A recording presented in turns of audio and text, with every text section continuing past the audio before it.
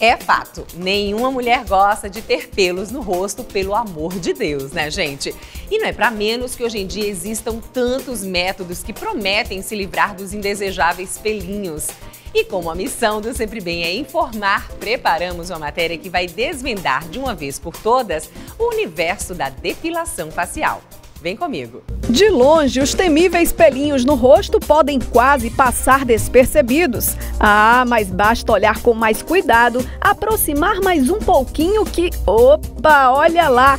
Nem mesmo as estrelas hollywoodianas escapam do problema. A atriz Kate Winslet que o diga. Mas tá tranquilo. A boa notícia é que esses pelinhos faciais podem ser eliminados de várias formas. Confira agora os principais procedimentos e escolha o ideal para você. Eu indicaria cera fria, né? Porque a cera quente, ela pode causar manchas, né, queimaduras. Então eu indico cera fria e que após o procedimento de depilação, coloque um protetor solar para proteger essa pele. Sempre vai doer mais do que qualquer outro método. A única forma de aliviar é colocar um gel pós-depilação, a base de camomila, que é calmante, né? Uma, uma forma de aliviar. Com 10 dias você já começa a perceber que o seu pelo ele já vai estar tá aparecendo, então com 15 dias você vai, já vai ter que estar tá removendo esse pelo de novo, porque ele já começa a te incomodar. Segundo o método, pasta húngara, uma espécie de cera mais moderna, menos agressiva. Não, não irrita, não tem nenhum tipo de problema. Ela é apropriada realmente para aquelas pessoas que têm só a penugem, que quer que diminua. O tempo dela demora mais ou menos de 20 a 30 dias e quando começar a nascer o pelo, ele começa a nascer bem fininho.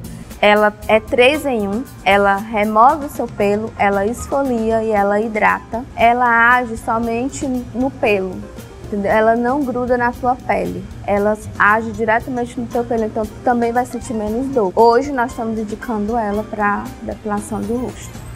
Terceiro método, linha ou depilação egípcia. Com a linha não encrava, né? Realmente ela tira, ela não deixa o pelo ficar é, muito resistente. Dói um pouco, mas compensa a dor. Quarto método, lâmina. Sem mitos, hein? Pode sim ser uma boa opção para as mulheres. A gente pode falar aqui que a lâmina, sem dúvida, é um método muito seguro para quando você tem aí pequenas áreas a raspar.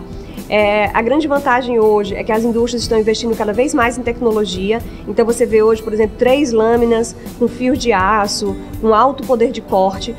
E além disso, elas trazem um cosmético associado. Aquela fita que fica na superfície das lâminas, aquilo ali é um cosmético que deveria então ser umedecido. As pessoas que usam lâmina em casa então devem molhar, devem umedecer essa região para logo em seguida aplicar sobre a pele que também deve estar úmida. A lâmina ela não tem o poder de engrossar, ela não muda a anatomia do pelo. O que vai acontecer é uma falsa ideia de que está mais grosso, porque vai aparecer do lado de fora a parte mais grossa do pelinho que ficava antes guardada dentro do poro e agora ela vai ficar externada. Quinto método, fotodepilação. Na fotodepilação, enquanto você está fazendo, a luz ela retarda a fase do crescimento do pelo e isso faz com que o pelo não se multiplique.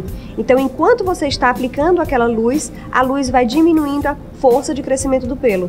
Mas na hora que você parar de fazer, esse pelo volta a ter a mesma força e vai produzir um pelinho grosso, normal, do jeitinho que ele era. Então é aquele falso resultado. Sexto método, depilação a laser, uma solução definitiva. O laser ele elimina a célula produtora do pelo e você acaba de uma vez por todas com aquela região incômoda de pelos na face. O grande diferencial é que ele age diretamente na célula que produz o pelo. Então, logo que você faz, estando o pelo na fase correta, uma única sessão já resolve. Viu só quantas opções? Agora, se você tem pouco pelo no rosto e quer só dar aquele retoque, pode também lançar mão da boa e velha pinça. Neste caso, vá com calma para não correr o risco de lesionar a pele.